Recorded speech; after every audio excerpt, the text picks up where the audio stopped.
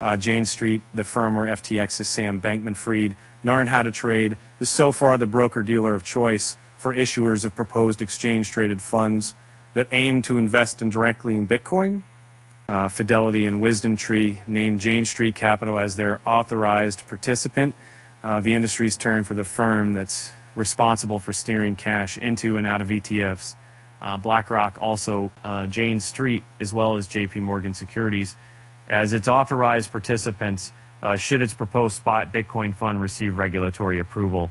According to an amended prospectus uh, filed with the Security and Exchange Commission on Friday, and Valkyrie said in its own filing that it also has engaged uh, Jane Street Capital as well as Cantor Fitzgerald and Company for the same role.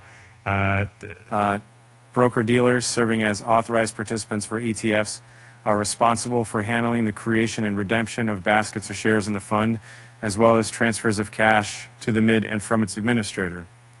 Well, it's usually not hard for ETF issuers to get authorized participant agreements. Some industry watchers had expressed concerns that Bitcoin funds would have a harder time since cryptocurrencies are a newer asset class, according to Eric Balchunas, senior ETF analyst at Bloomberg Intelligence.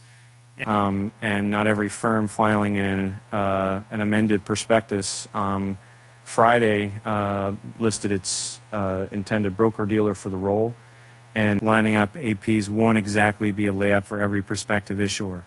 So this was an important step, said Nate Geraci, president of the ETF store.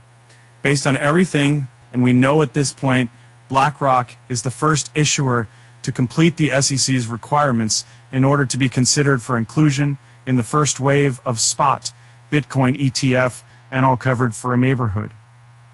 For the key, among other highlights from the amended prospectuses filed before the SEC's deadline on Friday, Invesco said that for the first six months its Invesco Galaxy Bitcoin ETF is listed, it intends to waive the 0.59% fee on the first $5 billion of assets.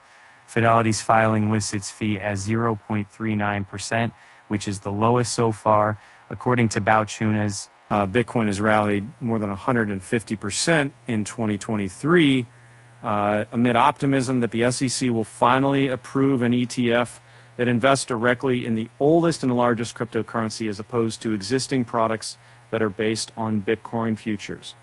The SEC faces a January 10 deadline to decide whether to approve the spot Bitcoin ETF application filed by Cathie, Woods Ark Investment Management LLC, and 21 shares.